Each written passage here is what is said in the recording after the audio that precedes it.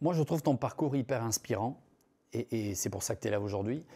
J'aimerais que tu nous expliques pourquoi euh, la nutrition, on n'en parle pas assez.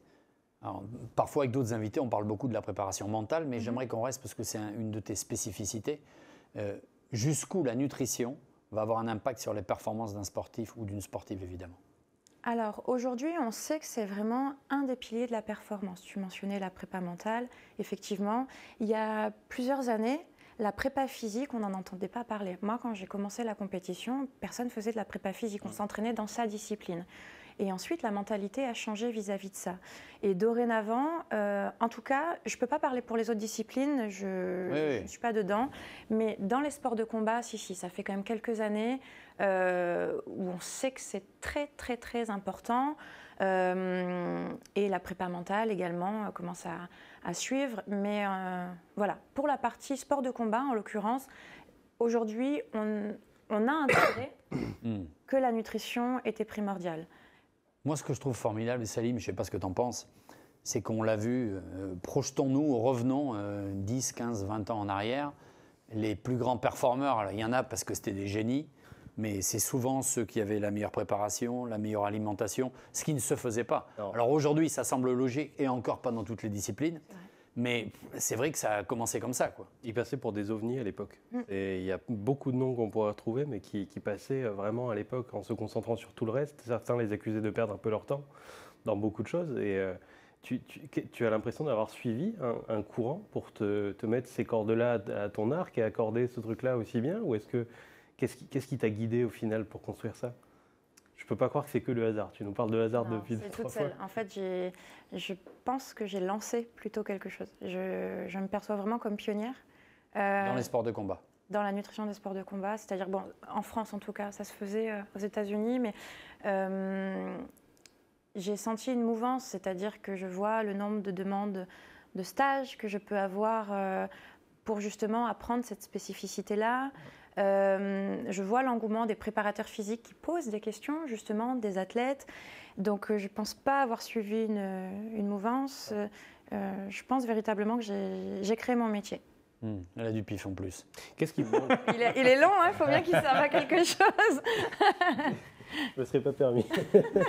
Qu'est-ce qui manque aux préparateurs physiques que tu croises, que tu côtoies au quotidien ou que tu rencontres pour être plus efficace. Alors, c'est pas pour te créer de la concurrence hein, que je demande ça, mais qu'est-ce qui, qui fait que, alors moi par exemple, en lambda, je vais les voir et, euh, et je suis un peu largué sur ce qu'ils me disent, ou, eux peut-être sont un peu largués sur quoi me dire en termes de, d'alimentation, de, de, prise en compte un peu plus globale. Qu'est-ce, que, qu'est-ce qui veut leur manquer? Alors, euh, ce qui peut manquer, c'est euh, l'apprentissage, la, la, base théorique, puisqu'aujourd'hui en nutrition, on entend tout et son contraire, d'ailleurs.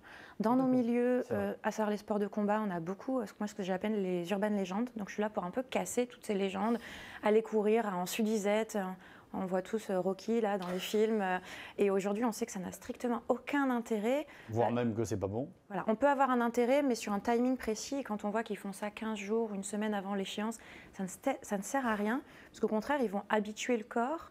Et au moment où il faudra transpirer, puisque nous, en sport de combat, on a des processus de déshydratation, mais qui doivent être précis, justement, euh, ils vont tellement habituer leur corps à ça qu'au moment où il faudra transpirer, ils ne transpireront plus, donc aucun intérêt. Donc, euh, donc euh, j'ai oublié la question, pardon. je me suis... Qu'est-ce qui fait qu'ils sont largués Oui, pardon, merci. donc aujourd'hui, on est un petit peu dans chacun son métier. Raconter une petite anecdote, il y a quelques années, donc j'avais en charge pas mal de filles de l'équipe de France de judo. Et je me rapproche, qui pour moi est une démarche tout à fait naturelle, de leur préparateur physique. Puisqu'il ne peut pas y avoir de nutrition sportive sans connaissance de la prépa physique et du planning euh, de l'athlète. pour moi, ça n'a pas de sens. Donc je l'appelle de façon très naturelle. Et en fait, euh, il était là depuis plusieurs années. Et il m'a avoué être euh, choqué. Ah et, que tu l'appelles? Ouais, et en gros, je rigole, je dis mais j'ai fait une bêtise, qu'est-ce qui se passe? Il me dit non, au contraire, c'est la première fois qu'on n'est pas chacun dans nos couloirs. Et il me dit, vous pouvez pas imaginer combien ça me fait plaisir. Et en fait, pour moi, l'approche, la démarche, elle doit être holistique. C'est-à-dire que j'ai pas de connaissances en prépa euh, mentale, typiquement. J'ai pas de connaissances, enfin, un minimum, mais rien à voir avec un préparateur mental. Tu prends la complémentarité. Complètement. je ne suis pas ostéo. En revanche, je vais appeler l'ostéo mm. d'un athlète Lui dire, bon, qu'est-ce qui se passe? Tendinite, si, ok. Je sais que la nutrition peut apporter, peut réduire les processus inflammatoires. Donc, chacun, on, va, on est là pour Mhm. travailler en équipe. C'est-à-dire que les combattants et les combattantes aujourd'hui l'ont bien compris, l'importance d'être euh, staffé.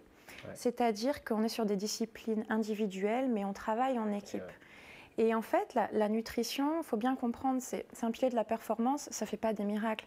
Ça ne transformera jamais un athlète moyen Bien en sûr. athlète plus plus. Non, mais on sait très bien que les résultats se font dans la petite différence. C'est ça. Cependant, un mauvais plan alimentaire peut tout à fait transformer un athlète plus plus en athlète moyen. Et d'où, donc nous, on est là pour ça, pour apporter cette complémentarité. Et donc voilà, vraiment pour revenir à la question des préparateurs physiques, on est là pour les accompagner, puis très souvent les guider, répondre à leurs questions. Et puis très souvent, ce sont eux qui sont sur le terrain. Et moi, j'ai déjà eu l'occasion de- d'accompagner des athlètes un petit peu partout, même euh, à l'étranger, mais je ne peux pas être là à chaque fois. Mhm.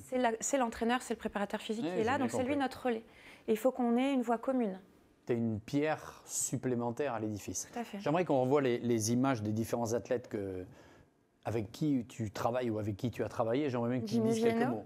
Jimmy Vienno, sept fois champion du monde, ouh, ça va vite, de, de Muay Thai. Émilie Andéol, championne olympique de judo, mais il faut faire pause, ça trop vite.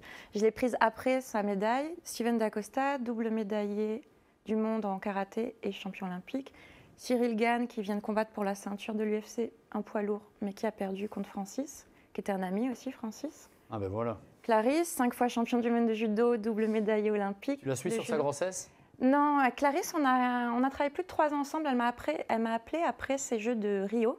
Ouais. Et moi, mon objectif, c'est de les rendre autonomes. Donc, euh, avant les Jeux de Pékin, euh, de Tokyo, avant qu'ils soient décalés, en euh, fin 2019, on avait convenu d'un commun accord qu'elle était tout à fait autonome. Charlotte Lambert, euh, médaillée olympique d'escrime. Voilà, Ça fait du lourd. encore. Charlotte.